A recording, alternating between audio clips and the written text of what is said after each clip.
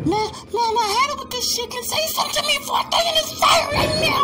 Now, who the fuck you think you is, little white bitch, coming from around your little neck and throw in the water somewhere? So, me